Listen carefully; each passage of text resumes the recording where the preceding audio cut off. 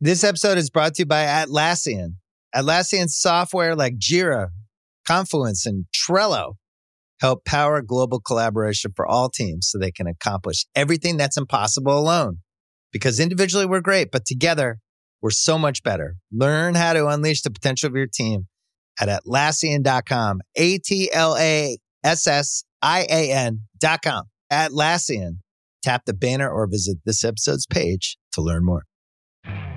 You could spend the weekend doing the same old whatever, or you could conquer the weekend in the all-new Hyundai Santa Fe. Visit HyundaiUSA.com for more details. Hyundai, there's joy in every journey.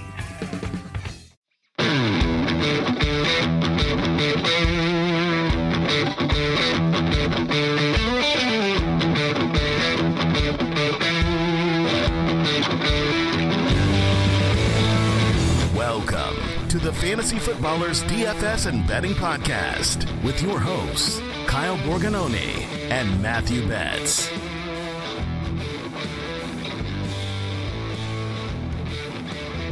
Welcome in. It's Friday, May 10th. We're back.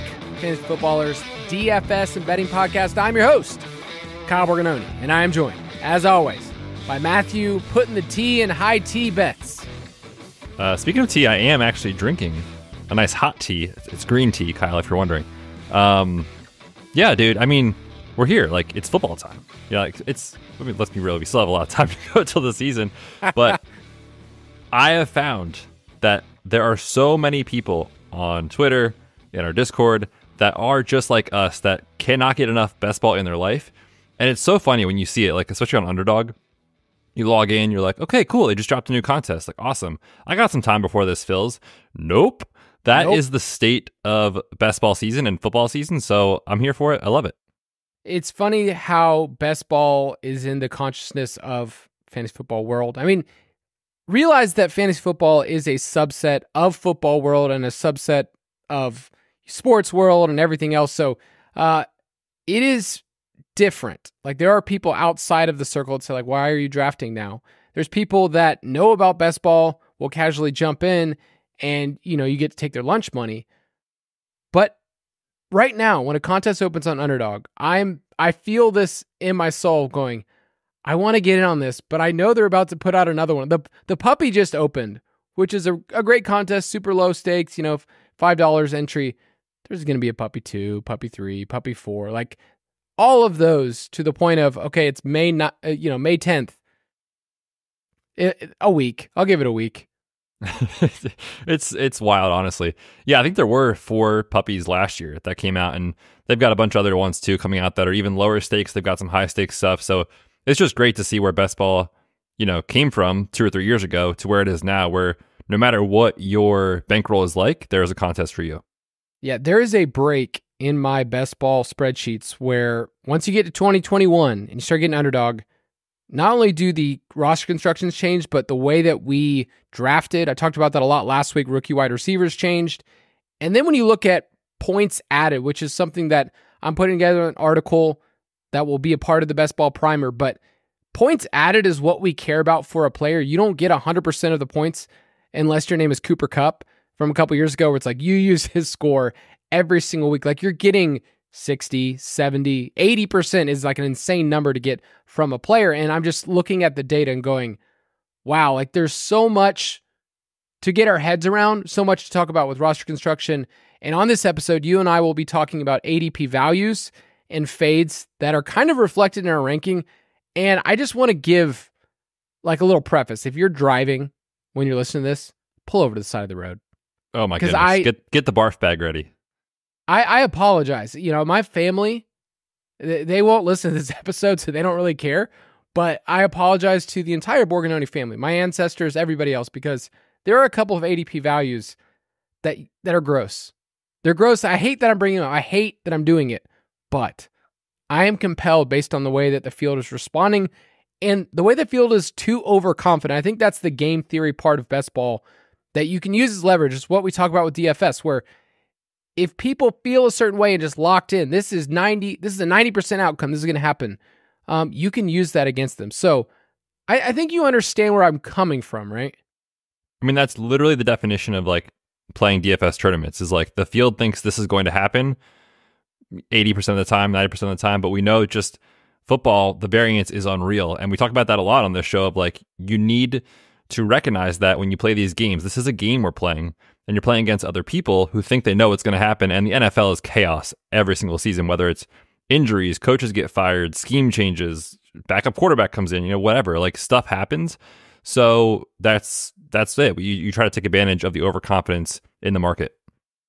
Right now, Betz, you have an article up on the site that's part of the UDK Plus. So it's a premium article that is 2024 zero RB targets for best ball. We talked a little bit about those last week, but uh, just give a plug for that because we're going to be updating it all throughout the summer. Yeah, so right now it's on the site. We wanted to get that up early because again, people are drafting, you know, already in high volume. But once the primer comes out in the UDK Plus, once you're in there, we're just going to pin it at the top, and you'll be able to see um, basically our updated list throughout the summer. It's not a static article. We're not just going to you know write it in May and then just leave it alone. We have our top um, zero running back, late round running back targets that Kyle and I, you know, we had a meeting. Of course, very very corporate like. We had our suits on, you know, notebooks. It was just it was very serious and came up with our consensus list. So this is the guys that we're targeting in our drafts. We lay out the reasons why and kind of how it fits from a structural standpoint, a player take standpoint, team stack standpoint, all that stuff. But like I said, it's just going to live in the best ball primer and it'll be updated throughout the summer as injuries happen, as we get news, as ADPs change, stuff like that. So we wanted to give you a resource to reference, you know, throughout the summer as you're drafting. Yeah, I I love that we put our heads together. I like that we had a meeting and we called it the best ball meeting and the zero RB meeting. So like not just you and I who get to be over DFS and betting, but just a subset. So I just man, we need to get something else on the calendar next week. Instead of talking zero RB, you just want to talk like late round tight ends, a whole Oh. meeting about it. I mean, it'd basically just be the Greg Dulcich show, right? Yeah, and Cade Otton. That's it. We'll just talk about Cade Otton once again for another year and profit from it. But yeah, go to ultimatedraftkit.com if you want to get in on our best ball rankings, best ball primer, and also, of course, the Dynasty Pass. But you mentioned it. The quick question of the day is name a guy who's going uh, after round 16. We, we're kind of also saying this because we're putting out a late round targets article as well. Um, just going to fill that with players that we think can be valuable, good win rate players. And I will mention Greg Dulcich. Why? Like, why would I talk about a player who played two games last year and you probably forgot that he was even part of fantasy football world? Um, one, his hamstrings right now, I, I've labeled them as optional. Uh, that's like what where he is on like the injury report. that's his problem. Um, Just running around out It- there, no hammies. it was an issue last year. Okay. Um, right now it's just Greg Dulcich and our boy Adam Trautman, who are the tight ends on the team. And this pass catching core is atrocious. And so what it, I'm really looking at is Greg Dulcich is going undrafted for the most part.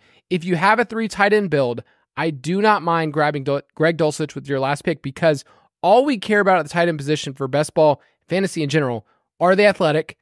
Can they earn targets? And Greg Dulcich was that player coming out of college. His uh, receiving yards market share, his yards per team pass attempt, which is a very sticky stat uh, for tight ends, was incredible. Is up there in a Brock Bowers type tier when he was at UCLA. Um, the mustache maniac, which is what I like to call him because he's a yak guy. Um, his profile was actually better than Kyle Pitts coming out of college in terms of market share. Now, this Denver Broncos team could be terrible. And you could look at it and say, why would I want to pair him with a rookie quarterback? Well, Bo Nix has kind of shown in college that he's willing to target people close to the line of scrimmage. So I think it sets up well if you want to throw a dart at a tight end that won't be drafted in tournaments. Like there, I mean, Greg Dulcich, I would say, is only going to be drafted like 30% of the time, 25% of the time when it's all said and done. So uh, he's a tournament play that I like for leverage. And I'll get to my other name because I have a quarterback that is going at pick 197 pro tees here that I also like a lot, but I'll, I'll save that for later. Yeah, we'll we'll talk about it. Um, yeah, with Dulcich too. Like the thing is, is that he doesn't have to do a ton at this price to pay this off, obviously. And when you look at the depth chart, I mean, Courtland Sutton is fine, right? He's fine. He's a solid wide receiver too in the NFL, I think. Troy Franklin fell in the NFL draft. That's a concern. We like his profile, but that's a concern. Uh, Josh Reynolds is just a dude. Uh, they lose Jerry Jeudy. I mean, they really don't have like Marvin Mims did nothing in, in year one. They really don't have alpha wide receivers or pass catchers on this team. So if you're asking, you know, is there a path? I think there's a path. You know, and this is a guy that people were drafting, I don't know, last year before training camp in like what round 14, 15, 16. So you're getting a huge discount right now on a guy that I think still has upside. Let's hope he can stay healthy. I'm going to also throw out a tight end that's late. And this is not a player that I would recommend like getting a huge chunk of in your exposures. But I think taking some Tucker Kraft makes a lot of sense in that I think the market is just overconfident in who the tight end in Green Bay is that you want. Do I think the odds on favorite is likely Luke Musgrave? Sure. Do I think they should be separated by, I don't know, 60 picks and ADP or whatever it is? That I do not think is right because when you look at when Luke Musgrave went out of the lineup last year, Tucker Kraft was pretty good, 14.5% target share in his seven uh, starts. Also was more athletic in terms of after the catch numbers, 7.1 yards after the catch uh, per reception for Tucker Kraft, just 5.1 for Luke Musgrave. So it's one of those guys that it's an ambiguous situation. I don't mind it as, like you said, your tight end two, tight end three. I would not go all in with your bankroll here. There's obviously volatility, but that's why he's going in round Somebody 18 will. and sometimes and sometimes going undrafted. So I just like that. I mean, we like the Packers offense, so let's get some exposure for really cheap.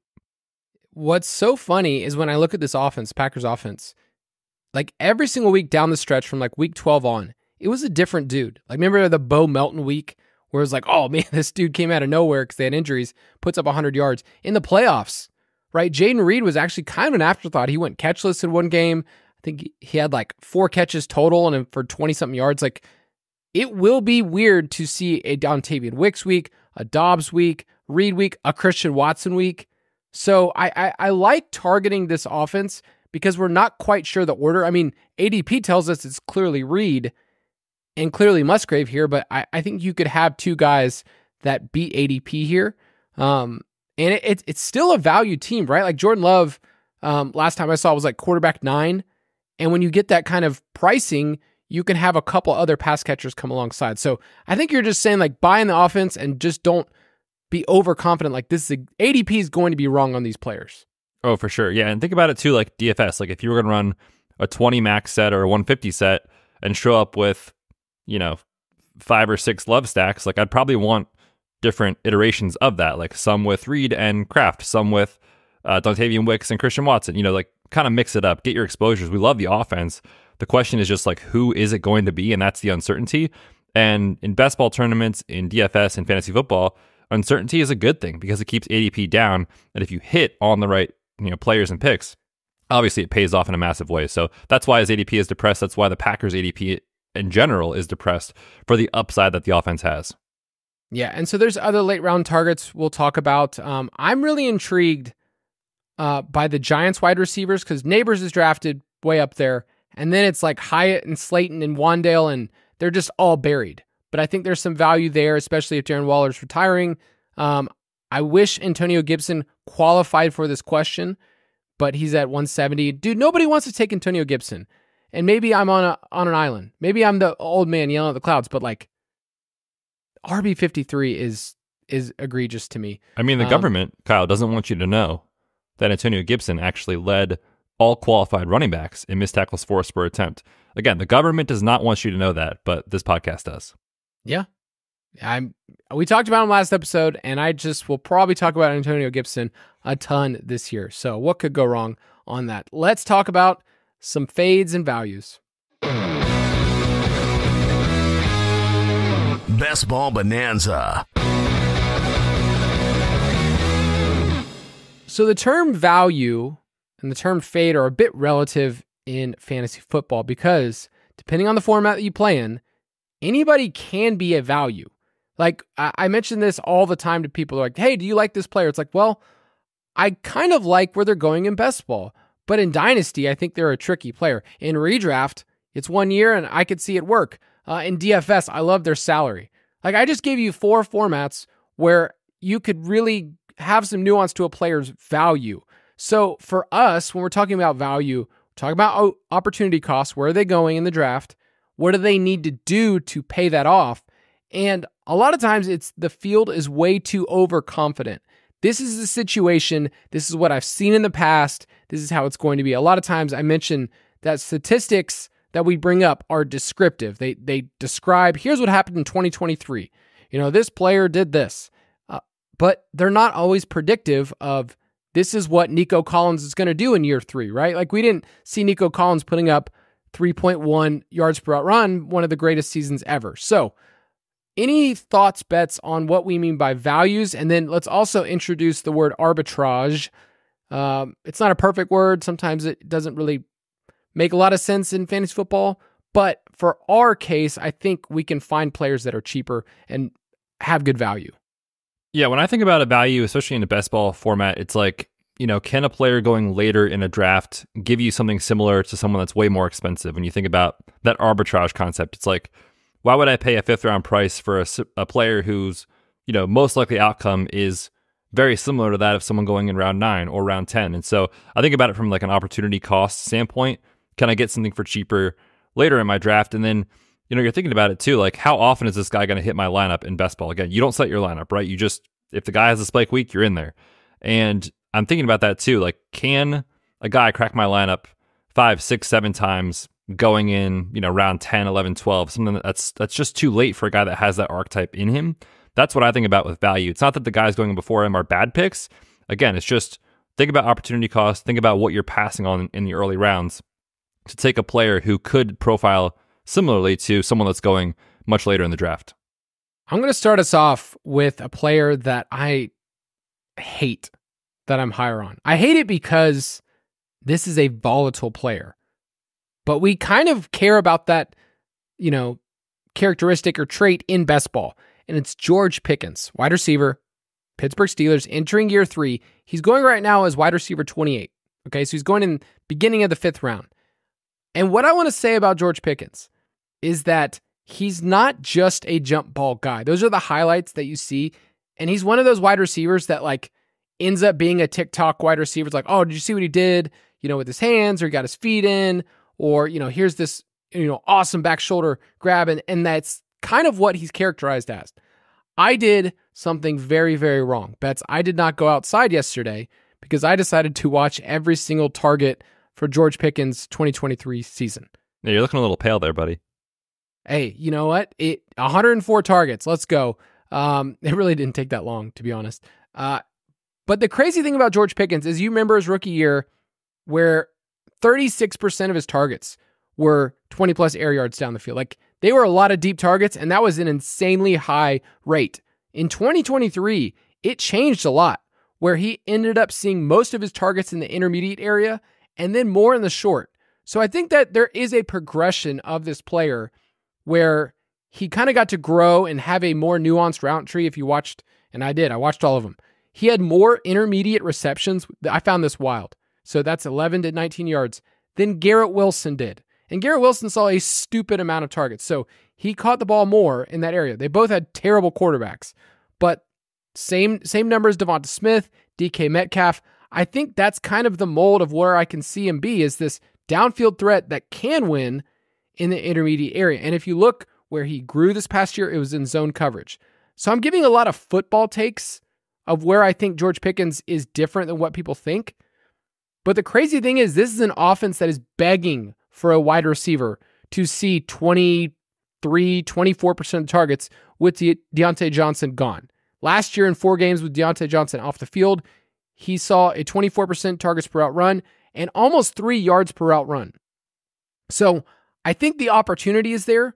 But what's crazy is you're getting a player that if you really just like peel back, like Garrett Wilson's had a stupid amount of targets. I believe it's 310 targets, the most ever through two years. But based on the raw numbers, when you when you look at it, George Pickens has been not that far behind in fantasy points per game. And you're getting a player three rounds. I mean, Garrett Wilson is going in the first round, right there at the one-two turn. And I think you get similar production, someone that clearly can be an alpha, about four rounds less of a price. So they're the same, you know, year we kind of forget about that. Like George Pickens was a part of that class, and he's only 23 years old, so he's actually uh, younger than your boy Xavier Legette, uh, which is just wild. I mean, who isn't but though? Let's be honest. That's we're all we're all younger than him. I just think that George Pickens is a player that we know we like for spike weeks. We know that he could increase his target share and take a third year leap and yet you're not having to pay this price. So at wide receiver 28, I have teams where George Pickens is my wide receiver three. Cool. I don't need you to do what Garrett Wilson has to do. And last year, Garrett Wilson saw a ton of targets and was terrible, a terrible advance rate player, despite seeing all those. So, is George Pickens a value? I know he's scary. Trust me, I get it. But is he a value? Yeah, he's an interesting player just because I think, like you said, the rhetoric around him is, yeah, throw it up at the sideline and, and just hope that he's going to catch it, right? But this is a player who has shown, I think, uh, the ability to become a better football player year over year. And if you go back to his last season at Georgia, remember he tore his ACL late in his college career. So like coming out, it wasn't that surprising that as a rookie he wasn't incredible. But you know he takes a step forward in year two, as players often do at wide receiver, and the peripheral metrics are very good. The team moves on from Diontae Johnson, showing that they probably trust George Pickens to fill that role. The concern, obviously, is that this feels like a Drake London situation 2.0 just because of Arthur Smith and how much they're going to run the football. And, you know, the, the passing volume won't be there. So it's like, sweet, this guy got a 28% target share this year, a 30% target share, but right.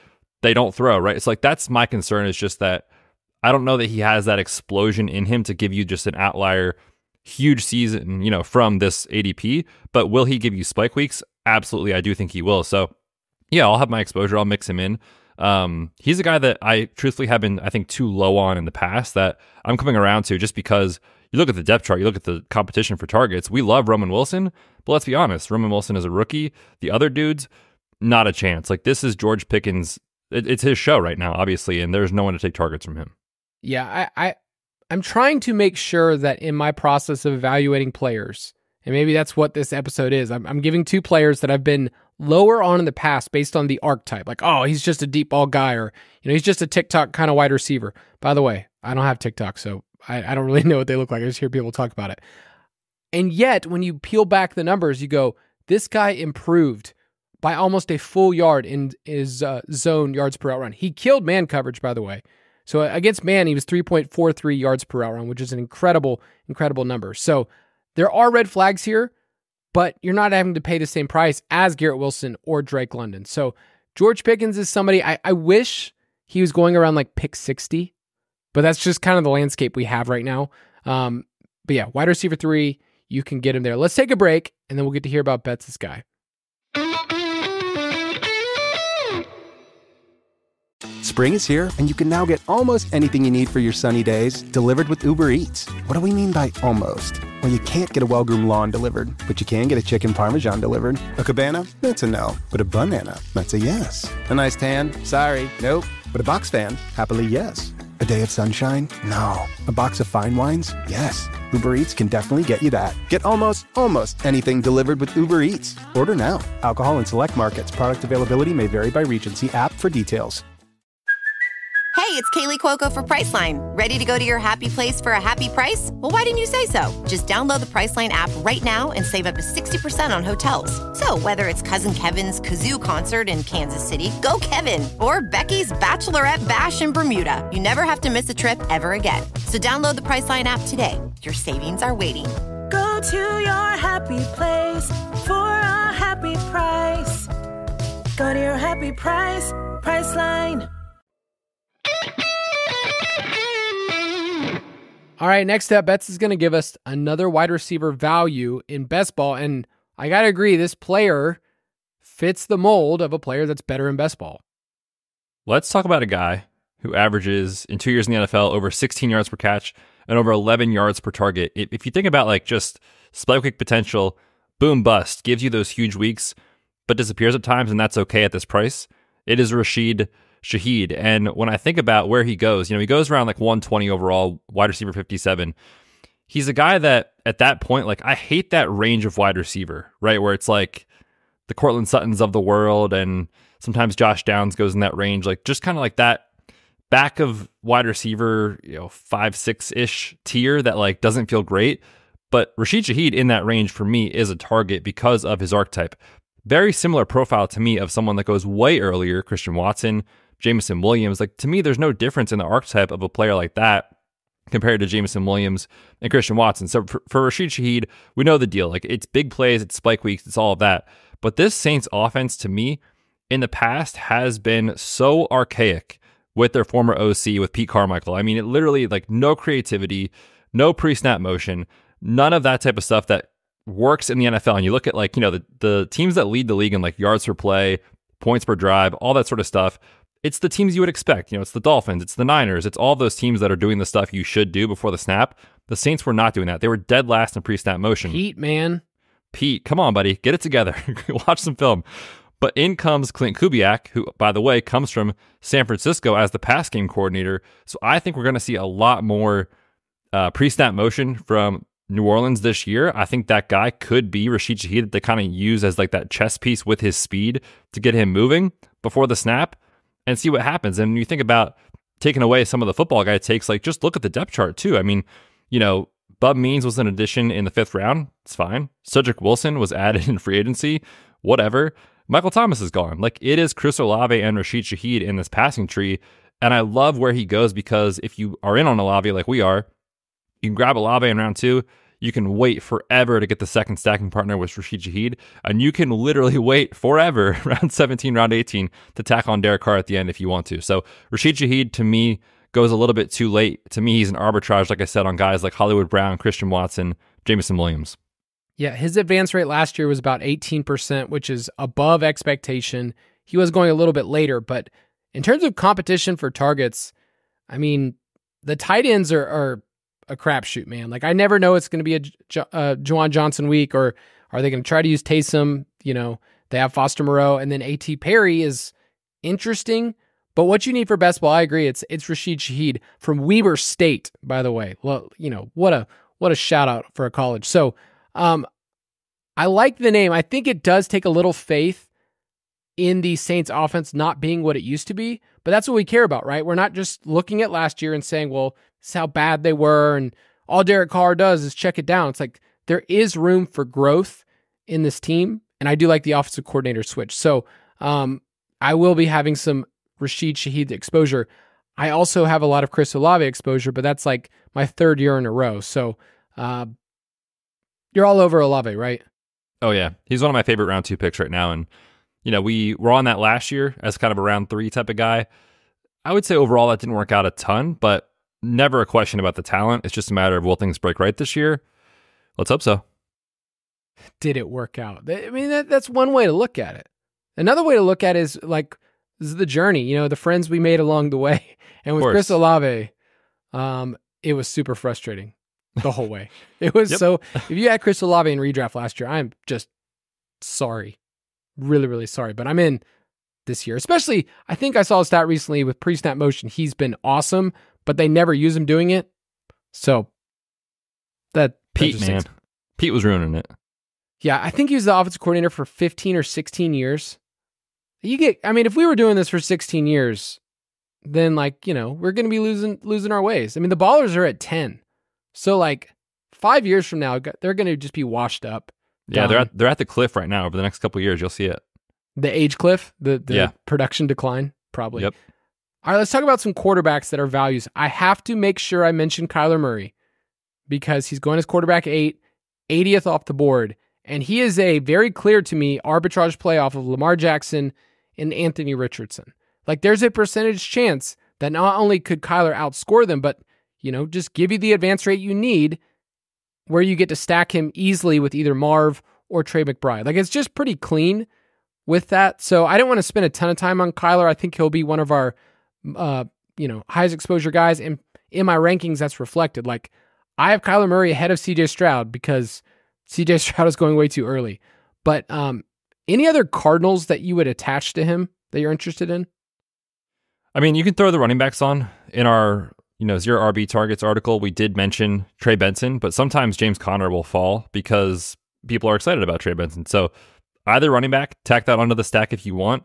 Round 18, I don't mind Greg Dortch. You laugh, but like literally whenever this guy has gotten a chance in the league, he has produced. I think he's a pretty good player, and I think he earns the slot job right away with so many empty snaps and empty you know targets to Rondale Moore. Those are gone.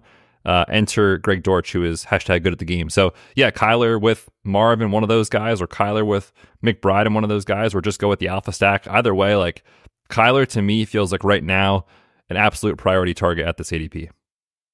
Okay, people buckle up.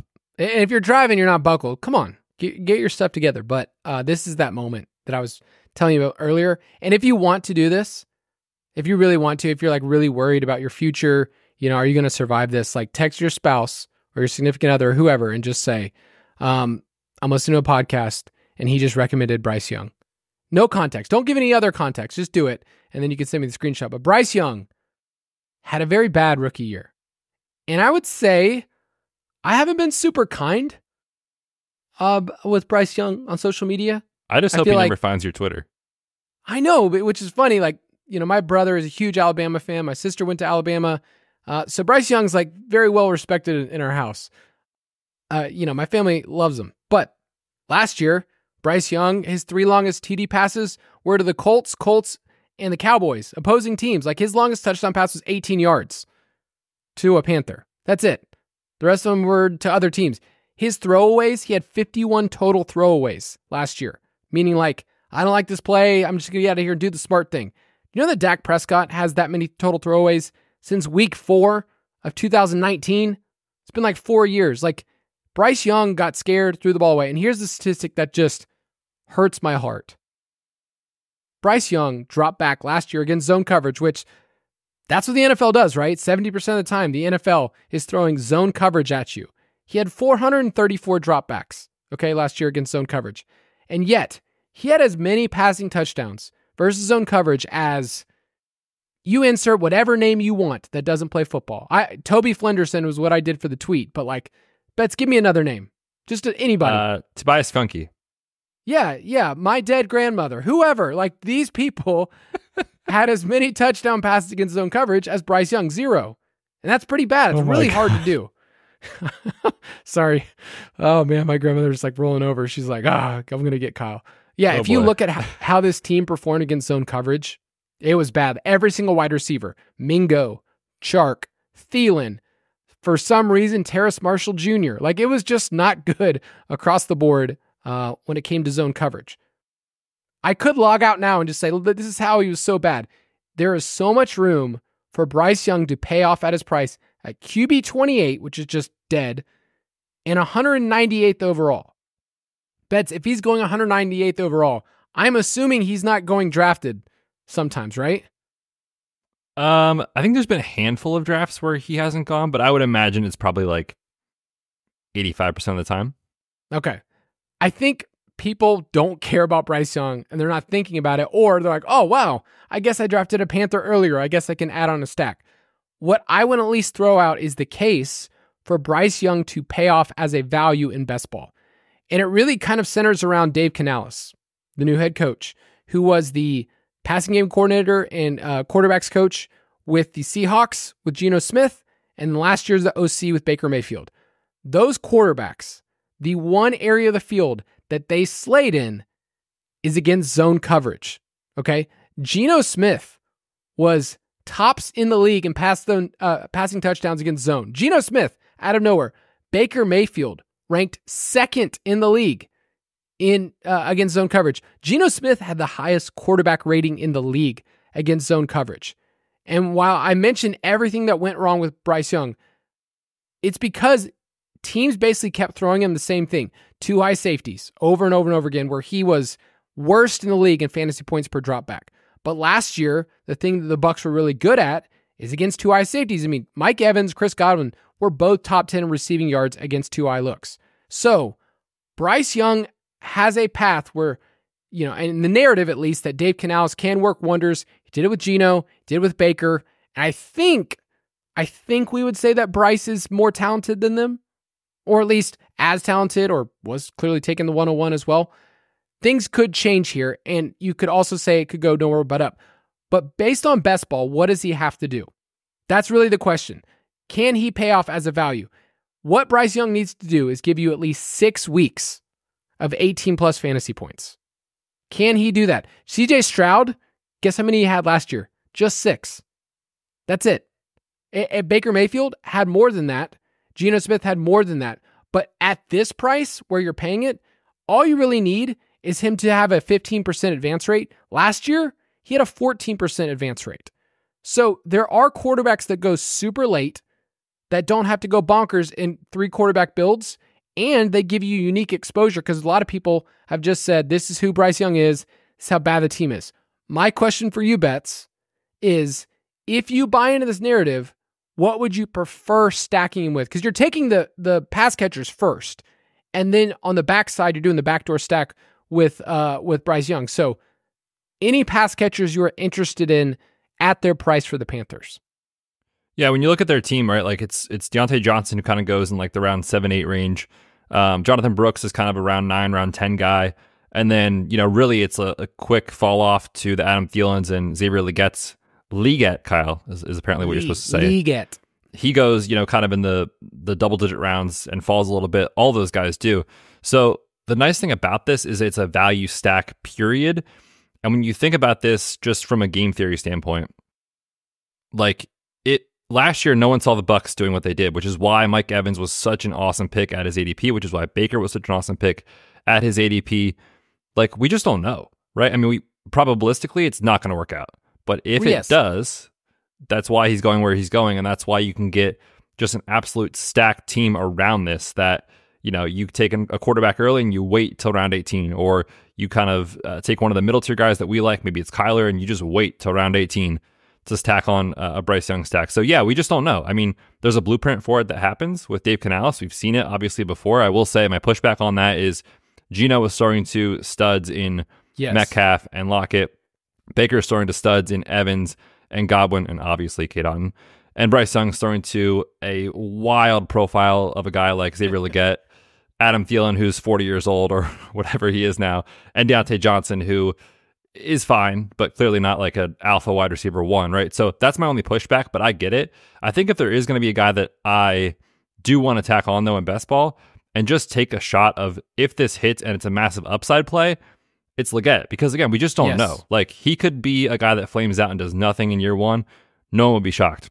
He's also wildly athletic, was a man among boys last, last year at, at South Carolina, and could be good. Like, what if he is? And we just don't know. I mean, he's a first round pick for a reason. So, yeah, you just embrace, I think, a little uncertainty. It's such a cheap value stack that I totally get it.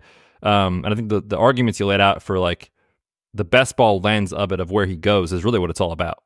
Yeah, and and if you would have gone back to Geno Smith, I think we would have said like, what's the percentage chance that Geno Smith is a league winner? We'd be like, uh, two percent. Like it's just it wasn't on our radar. Last year with Baker, I think we would have said a little higher, but you know, because we like the weapons and stuff. But like Baker would have been like, I don't know, like five, ten percent.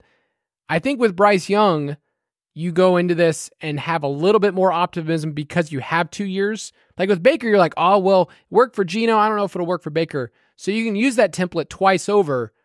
It's still a leap of faith. I get it. Like he was so bad. I'm going through the process. I watched all the George Pickens. It takes a little longer to watch all the Bryce Young, and it's not great. But never forget his first completion in the NFL was to Terrace Marshall Jr. All right, Betz, you're up. I had to throw that in there. I will say too, just looking at the, the staff real quick, like, you know, it was an absolute train wreck the first season in Carolina with how many play callers changed, like snip, snap, snip, snap, snip, snap. Like one week it was Frank Reich, then it was the OC, then it was back to Frank Reich, then it was back to the OC, then the, then Frank Reich got fired. Like it was just an absolute train wreck. You get some stability with Canales.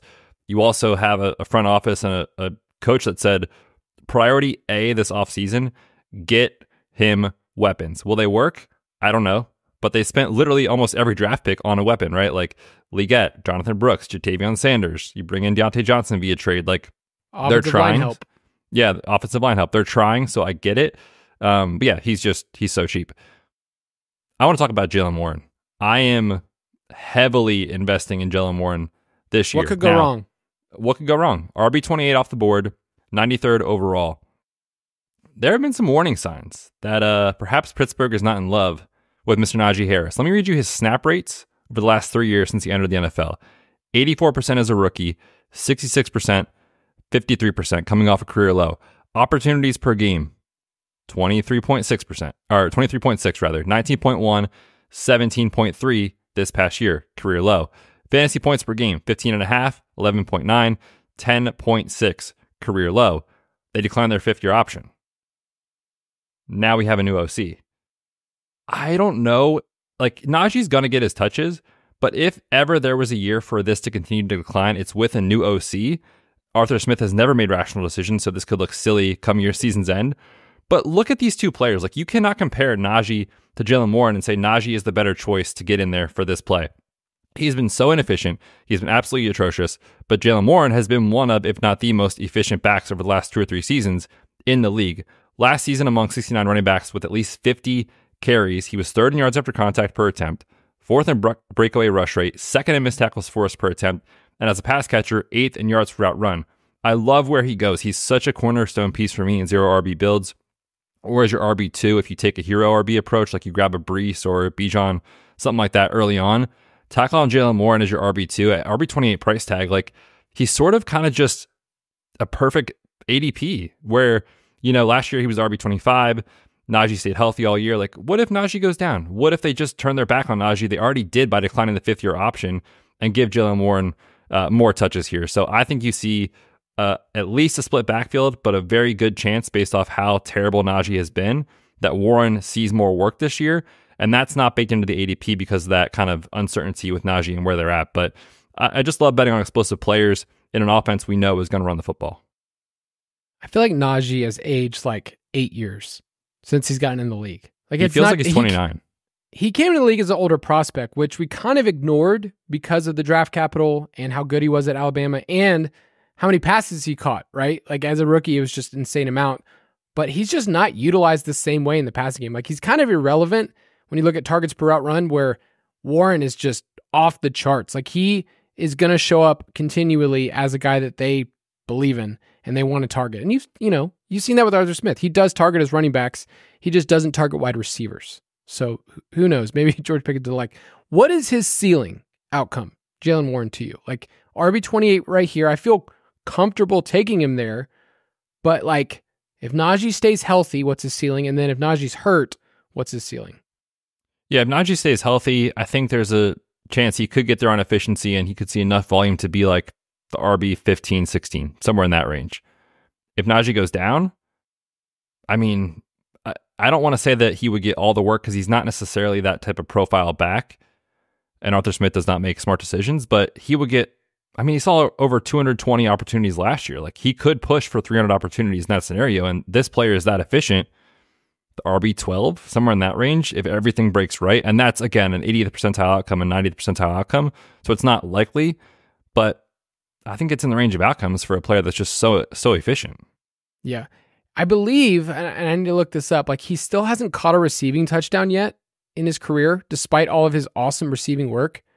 Um, yeah, no receiving touchdowns yet. Same thing with Josh Jacobs, who still does not have a receiving touchdown despite all the years. So there's a lot of things working for him. 61 receptions last year and no touchdowns. That will certainly change. But yeah, Jaylen Warren is a fun player. He's very Austin Ekeler, like undrafted free agent, this bowling ball that comes in and it's just a fantasy force. So let's take a quick break and we'll talk about our fades.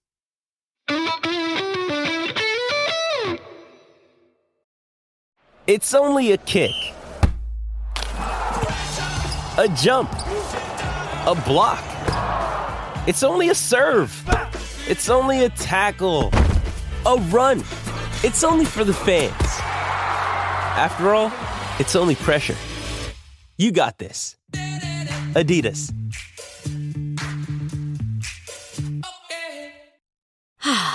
Spring is a time of renewal, so why not refresh your home with a little help from Blinds.com? Blinds.com invented a better way to shop for custom window treatments. There's no pushy salespeople in your home or inflated showroom prices. Free samples, free shipping, and our 100% satisfaction guarantee can put the spring back into your step and into your home too. Shop Blinds.com now and save up to 45%. Up to 45% off at Blinds.com. Rules and restrictions may apply. All right, let's get a little spicy here because Betz and I decided that when we're talking about best ball fades, we're not going to tell you like, "Hey, you should fade uh, Will Levis." It's like, ah, there's you don't lose as much there. Um, we want to give you players that are going fairly high, and we're saying in our rankings they're lower, and they have to do a lot to pay off at, at you know at their draft cost. So, um, we will get some changes. Like I think some of these opinions will change for fades if the ADP drops, if we find out, hey, they're, you know, this is a really good matchup for week 15, 16, 17 when the schedule is released. So, uh, any thoughts about a fade? Like what we mean by that? Because I just want to clarify. Yeah, I think a good way to think about it is like a player going super early or at least relatively early, and then thinking about like what they have to do at that ADP to be a quote unquote good pick or a guy that helps you advance or give you a massive week in the playoffs, like something like that. And when you think about it, when you're taking someone in the first three or four rounds, like you should try to think about the downside case for that player. It's like, how could this go sideways? And if it does, like, you know, how bad of a pick is this? Or I think about it another way. It's like the guys I'm going to talk about, I think they're going to have good seasons.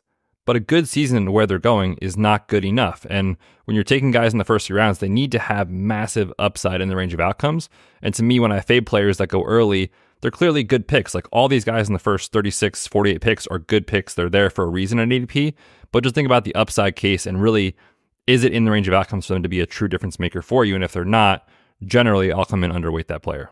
Yeah. And once again, you can like this player. It doesn't mean we hate this player. Like I'm going to talk about Sam LaPorta. Tight end for the Lions first. If I had him in Dynasty, I would doing, be doing backflips right now. So excited about Sam LaPorta. We will be playing him in DFS. But in best ball, he's going as a third round pick. And I'm not trying to take anything away from how great he was last year. The tight end won in fantasy, the highest points per game ever for a rookie tight end, the most tight end rookie receptions of all time, tied Gronk for the most rookie uh, receiving touchdowns for with 10. All of that's awesome. The problem is, based on his yardage and yardage expectation, he seems like a clear regression candidate. And I, I hate also mentioning those kind of words because you have one year sample size. So I could be totally wrong. This is just who he is. Sam LaPorta, greatest tight end of all time, 10 touchdowns every single year. You saw it last year, so it's really hard to see something different. But 10 touchdowns on 899, 889 eh, receiving yards sounds really good. But over the last decade, every single tight end that had 10 plus touchdowns with less than 900 receiving yards regressed in the touchdown department the next year. Mark Andrews is a perfect example. I think it's a good comp here. Mark Andrews in 2019 broke out, had 852 receiving yards, 10 touchdowns. Next year, he had seven. That's fine. But every other tight end on this list regressed a ton. Antonio Gates, 12 to 5. Jimmy Graham, 10 to 2. Julius Thomas, who broke out for the Broncos, in those Peyton Manning teams, 12 to 5. Tyler Eifert, Jimmy Graham again, uh, Eric Ebron, Robert Tonyan, George Kittle, all of these guys regressed in the touchdown department to something much lower. So if Sam LaPorta got six or seven touchdowns, that's a good season. But as a third round pick, that is just terrible. And his receiving yardage, which is actually the strongest, stickiest statistic for tight ends, he was only seventh best among tight ends. In yards per team pass attempt, he was sixth best. So, all of that to say, I think that Sam LaPorta is a really expensive version of George Kittle or Jake Ferguson or even way later Dallas Goedert, who I don't think is nearly as good. But you're paying a high price for a guy on a good offense, but you can find that production, you know, a couple rounds later. So I will probably not have much Sam LaPorta if he stays in the third round. Yeah, he's expensive. That's that's the issue, right? With this pick, it's like when you think about the tight end landscape, like all the elite guys are going a little bit later this year than they were last year, which is why I love grabbing one of these elite options. The issue is like when you take Sam LaPorta in round three, you're passing on legit wide receiver twos who have massive, massive upside if things break right. And so that's where the opportunity cost for me comes in. And it's like I'd almost always rather have the wide receiver, and I'll take Dalton Kincaid two rounds later. I'll take the leap of faith with Kyle Pitts. I'll take Jake Ferguson in round nine. Like that's kind of where my head is at. It's not that I don't like Sam LaPorta. Obviously, we love what he did in year one. But like you said, if he comes out and again has, you know, 950 receiving yards, you'd be like, that's awesome for a tight end. If it's six touchdowns instead of 10, or if it's seven instead of 10, you're probably getting the same number of points out of your roster from a tight end later in the draft. Now, you're not going to get it from someone in round 17. Like you still need kind of one of the elite guys. So to me, the arbitrage play is Still go with the elites, but maybe kind of take someone else in that range rather than LaPorta. That's where I'm at anyway. The other thing too is like you can paint a picture for almost all the elite tight ends that go, you know, round four, round five, round six is like those guys could emerge as like the number one option. Like Dalton Kincaid could be the number one option for Josh Allen. As long as Amon Ra is healthy, that's just never going to happen. So yeah, I love LaPorta. I want some exposure, but to me, he's a guy that I'll probably really only take when he slips past ADP. Yeah, I love the range of Kincaid, Andrews. I mean, let's lose some more money on Mark Andrews, man. Oh, brother, Let's- let's I am all it. the way in. I like Pitts, who's going past pick 60, and Kittle. Like all, all of those players, I'm totally fine with if you want to grab a, a tight end, and then you only need two. So yeah, I I mean, man, 29th overall. it- I, like I I can't fathom paying that price. But um, anyway, you give me the next fade. Yeah, this is another player that you know certainly I could see the path where this goes very well, but it's an expensive player to take in your draft, and it's Josh Jacobs. He's going off the board right now at RB 10, 33rd overall. So again, this is a top third, you know, 36 overall player in the third round. Sometimes he goes in the back of the second round. There's just a massive opportunity cost here, not only for the player himself, but what you're passing on. There's so much data that shows hero RB and zero RB works well on underdog. It's just been a fact. You know, the advance rates are better, the playoff advance rates are better over the last couple years. That information I highlighted in my article that's on the site with our late round targets, just kind of a rationale of how that works. So when you take Josh Jacobs, you are passing on an elite wide receiver. That's my first issue. The second issue is if I am going to dip my toes into this running back pool, they had better have RB2, RB3, the overall RB1 in their potential range of outcomes. And there are just so many warning signs that Josh Jacobs might be approaching decline faster than you think. Two years ago, he led the NFL in rushing. So I'm not saying he's old and he's 30 years old and it can't ever happen. I could see a path where he bounces back, and it's a good offense. We love the Packers. But look at the, these numbers like missed tackles forced per attempt dropped in three straight seasons. Explosive rush rate bottomed out last year. Yards per carry, three and a half, was one of the worst marks in football. Next gen stats, rushing yards over expectation, 41st out of 49 qualified running backs with Alvin Kamara, Miles Sanders, Jamaal Williams of the world. Like he was so bad last year. And again, you think, okay, he's going to bounce back. I know he will. They always bounce back, these players. But in Marv's, you know, Dynasty Life Cycles article, I always highlight this. It was astounding to me that like the vast majority of players fall off in their career at running back when they're in the NFL for about six years, sometimes seven. He is entering year six in the NFL. And so if he has any bit of decline in him as a player, again, at this price, that isn't a possible range of outcomes. Like for him to pay this off, he cannot decline at all. If he is a thousand yard rusher with five or six touchdowns, that's not good enough at this price tag. Like you need a guy that can give you massive ceiling at an opportunity cost that's just too high. So for me, I have found myself full fade on Josh Jacobs at this ADP. Uh, you know, it's it's just a bet I'll make every time at a running back position that again I like to target wide receivers. Yeah, Josh Jacobs, I have him in Dynasty, and I'm like, okay, maybe I can get a year out of it. But this, what you're paying is you are passing up. Let me give you some of the receivers around him. You know, it's DK Metcalf, it's DeVonta Smith, who we're both really, really high on. Uh, Cooper Kupp is there. Tank Dell is right after him, too. And then this is where the quarterbacks are going. If you take an elite quarterback, right after him, I mean, Josh Allen is the pick before him, and then Hurts, Lamar, Patrick Mahomes. So I just have a hard time. I don't love drafting a running back there. And let's compare these two because they're going back to back in terms of running back. Josh Jacobs right now is going as the RB10. Travis Etienne is going as the RB11. I have Etienne ahead in our rankings. Do you prefer one of them? Uh, I think I have Etienne ahead as well, but truthfully, I'm not aggressively targeting him either. Again, it's just a structural type of thing for me. But you know, I get it, and I think he's a player that I'd bet more on the explosiveness than someone like Josh Jacobs, who, like I said, you know, put the metrics last year was just abysmal. Yeah, there's a spot after Achane goes at RB8. So the end of round two to the end of round four, there's only three running backs there. It's Henry, Jacobs, Etienne, and then Pacheco's kind of on that fringe uh, of four or five. So it's a weird spot in the draft because if you haven't taken a running back yet, you're very tempted to say like, okay, well, I need to anchor to somebody who's going to get a ton of uh, a huge workload, who's in a good offense. Jacobs makes sense, but yeah, if you're going on efficiency numbers, I don't love it. I feel like he could be just stable, but not like a league winner where he goes at RB10. Like if he was going as RB15 or 16, I could be in on that price tag. Um, when there's other guys like Kenneth Walker feels very similar to me, and he's going way later.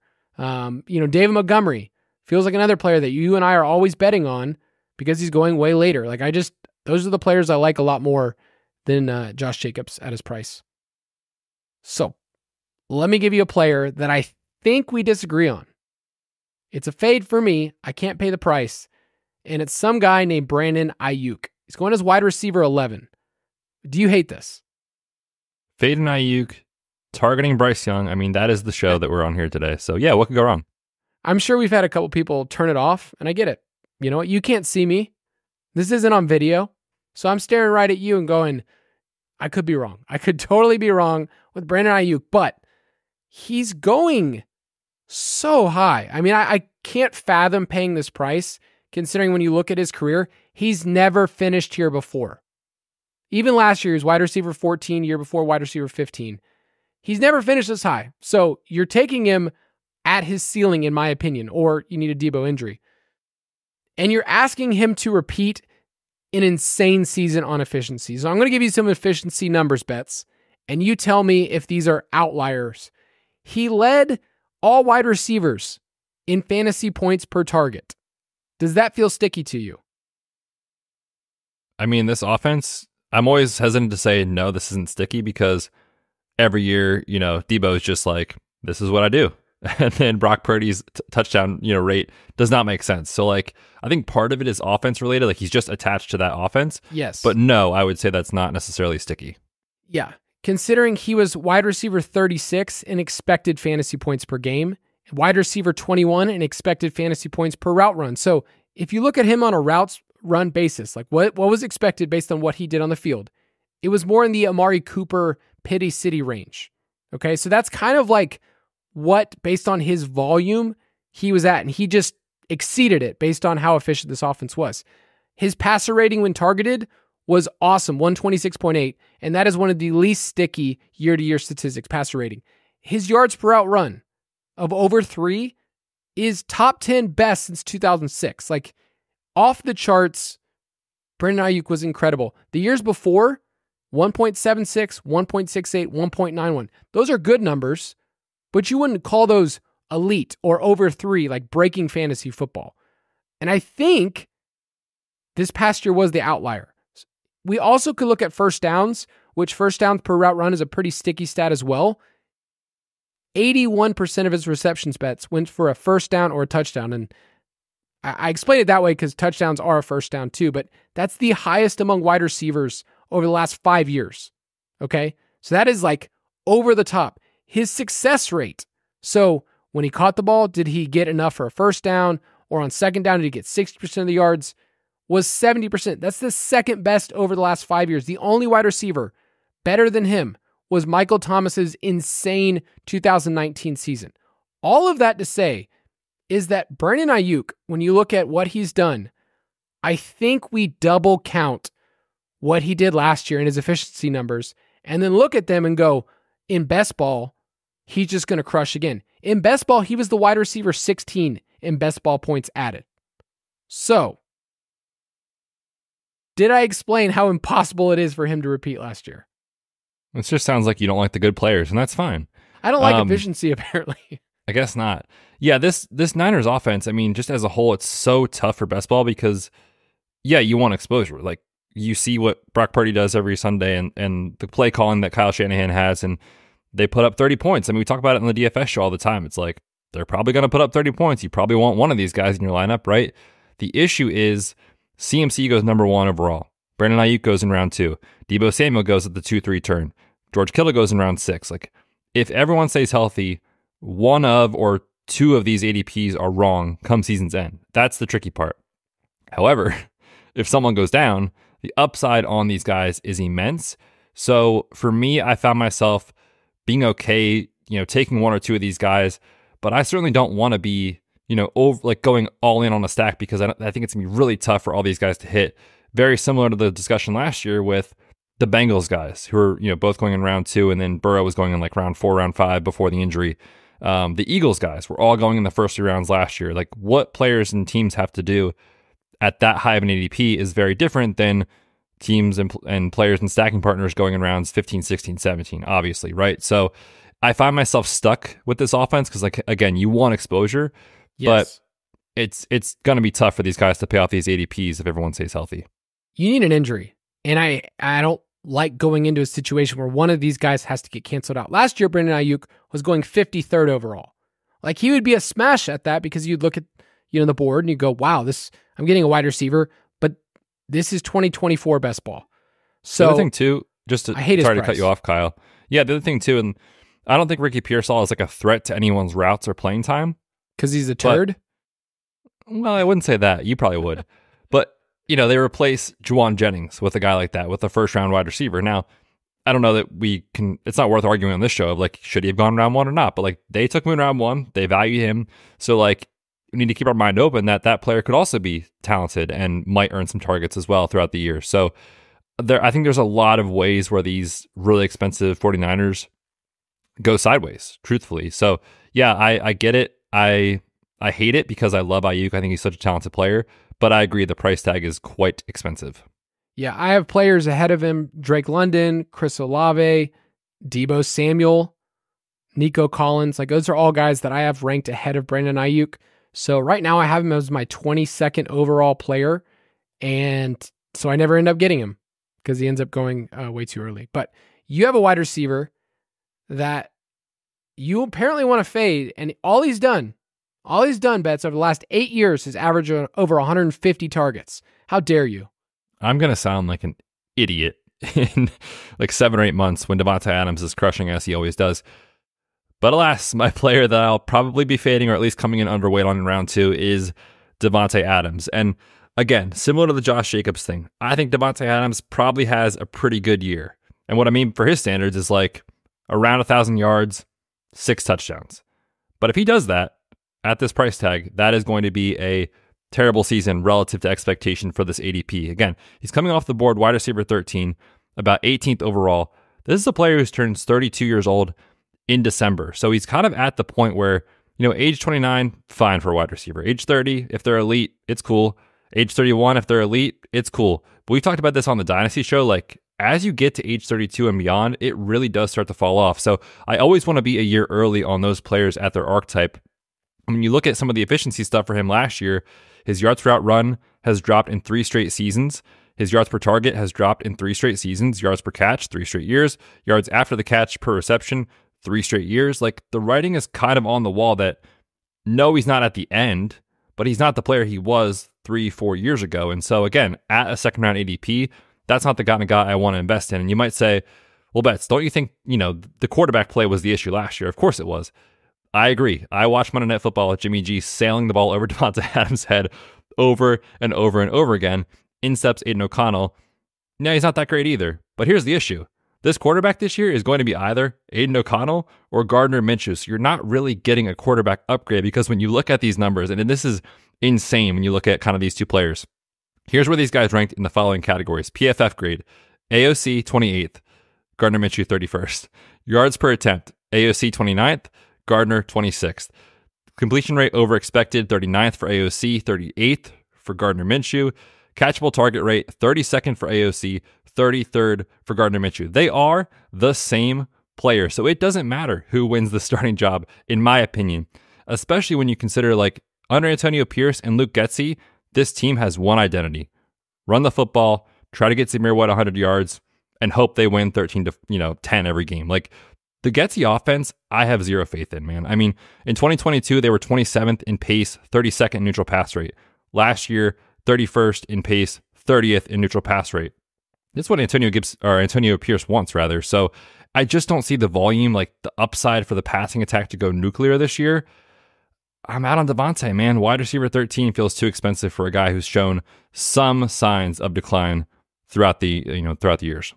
Yeah, last year we were a little bit lower too. He was going around that one two turn, and now you get a little bit of a discount, but still, I mean, man, like 19th overall. I'm going to be taking Deebo. I'm going to be taking Nico. Uh, just offenses we like more. Um, yeah, I, I hate it. I hate it because he's been so consistent for so long.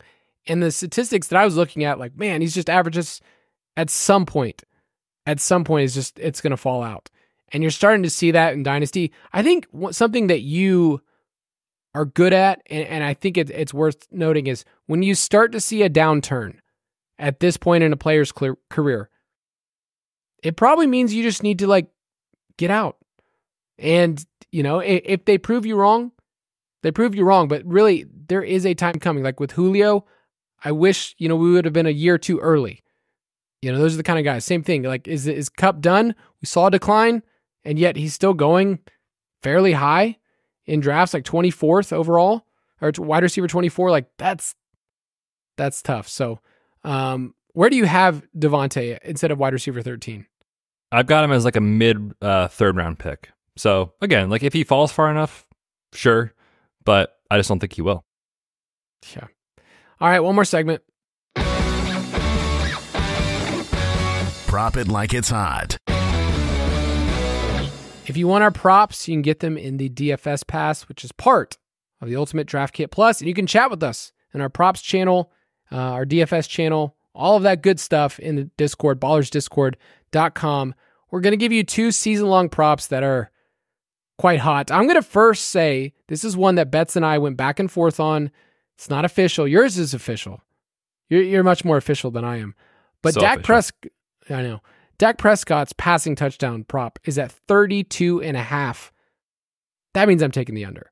Now, Dak has passed this twice in his career, and I get it. This is more of a math play for the math kids out there, mathletes. Um, it's really hard to repeat year over year touchdown rate. And when I take an under on a player that's up there, 32 and a half is a massive total for any quarterback, Patrick Mahomes, whoever. You're basically asking them to never get hurt and to stay on the same efficiency train. The problem with the Cowboys is that there are two passing options that you should feel good about CeeDee Lamb, Jake Ferguson, and then is Brandon Cook still alive? Like he he kind of came on at a stretch, but it's it's tough. And then Betz who is their wide receiver three? Is it Jalen Tolbert? Because they don't even know. On paper, it is Jalen Tolbert. Okay. Yeah, I, so I like this right now. I think I would just take Dak's under. And this is, by the way, something I do is I will just take three or four different quarterback passing touchdown unders. And I think over time, if you just do those like Cousins I did last year, it was unfortunate, but like injuries happen and injuries happen definitely at the quarterback position. So Dak Prescott under 32 and a half passing touchdowns. Yeah, we were talking a little bit before the show of just like some of these elite offenses are so thin at pass catcher. Like, heaven forbid anything happens to CeeDee Lamb, like it's over. Like, who are who are they throwing the ball to? Right? Like, it's such an issue. Same thing with like, uh, you know, like the Bills. Like Kincaid's great, but like this wide receiver room is just kind of a mess without Diggs. So there's definitely some teams that I think at the top that are a little more fragile than you might think. And if you think about it, inside the five last year, Tony Pollard was historically bad. So some of those touchdowns that you saw boosted uh, last year when you get to 36 passing touchdowns were from them literally just not being able to fall in the end zone. Now, maybe the corpse of Zeke Elliott can do it this year, and Rico Dowdle and the boys, but um, I think that there's a little bit of room for some more rushing touchdowns as well. Dude, Jerry just saw, you know, Tony not getting in the end zone, saw Zeke falling in like week 15, 16, 17 last year, and he was like, we got to bring him back. That's that's our mean- dude. I mean, with with Zeke, you know, Dak's passing touchdowns were, you know, early in his career 23, 22, 22, 30 with Zeke. So, you know, the correlation is clear. 100% hit rate, obviously. Obviously. Um, the, the official play we gave out, both in Discord and on the site in our props tracker, uh, Xavier Legette, I'm going to keep messing that up. Legette, under 700 and a half receiving yards. We found that at minus 110 on BetMGM. It's already moved to like minus 150 on DK and a couple other books. I would not take that, but you know, I messaged corporate today. I said, hey, corporate, which is Andy, Mike, and Jason, can you give me some, you know, sneak peek here of what do you have for projections for Carolina? Our number right now, this is a little sneak preview. This is available in the UDK Plus when it comes Ooh, out. little- you know. June June first. You can get all the projections and you can do the stuff yourself. But we were projecting closer to about 600 yards, so it, that's a pretty big edge. And you think about a props market where so much can go south. Injury, maybe he's just not that good. I know you think Bryce Young might bounce back. What if he doesn't? Like, there's just so many outs for this to go under. So, under seven and a, uh, 700 and a half receiving yards uh, for Legette. No, I don't. No, there's a percentage chance he bounces back. I'm not calling. You think he does? it. No, you called it. You said today, everyone, all your bankroll, round 18 Bryce Young to win all the money. I, it- hey, as the kids say, it can't get worse, right? it can't. What there is a scenario where it's the exact same and things are really, really bad. All right, Betz, sign us off.